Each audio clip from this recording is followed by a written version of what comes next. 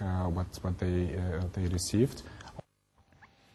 O secretário de Estado dos Assuntos Fiscais disse hoje que 90% das medidas fiscais do Orçamento do Estado para 2012 correspondem a compromissos com a Troika.